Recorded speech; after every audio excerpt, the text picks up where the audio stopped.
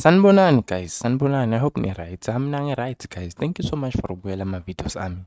Today I'm going to give you the response that coach Atazwane gave uh, responding to ama fans booing uh, ama fans booing uh, the players. Firstly, I would like to say, ish, guys, this is a game of football, you know.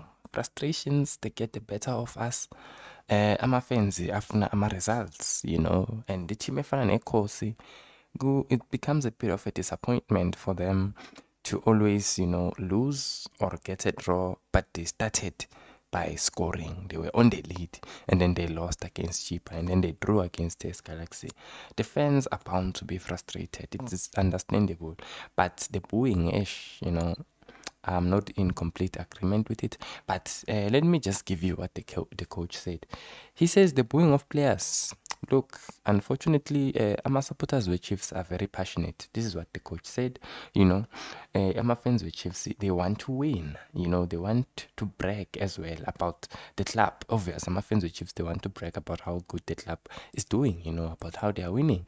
But uh, Uti, the boys are doing their utmost best. But unfortunately, you know, Ama results, they're not forthcoming. And it's one of those things where the boys need to be strong because they played very well, but the results are not there.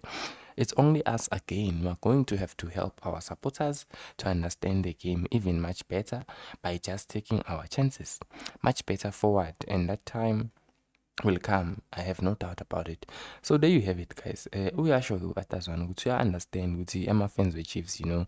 There are those fans that are passionate about the team. They want to see the team winning and uyasho futhi ukuthi unfortunately ama-results awezi but you know ama-players azama ngako konke eh, ekusemandleni wabo ukuthi bawathole ama-results. And kumele nabo ama-players you know a-understand ama-fans by uh, you know meeting them halfway by taking the chances that they create. But one thing that uh, Atazwane is saying is that uh, you know, uh, the, the, the time will come, you know. He says he has no doubt about it, you know. Ukuthi bazowathatha my chance and the winning days will come. You know, that's what Arthur Zwane said, you know, about the fans and the performance nje of Kaizer Chiefs overall. Uthi guys, ama ama ama ama ama uthi ayeza azoza guys. Uh, he just needs to fix his team in terms of being clinical because they are definitely creating the chances. But the problem is being clinical, you know, and taking them. It's one of those, you know, Kaizer Chiefs has been struggling with that for some time now. But, you know, Stalin Tembe and hope it would uzoshintsha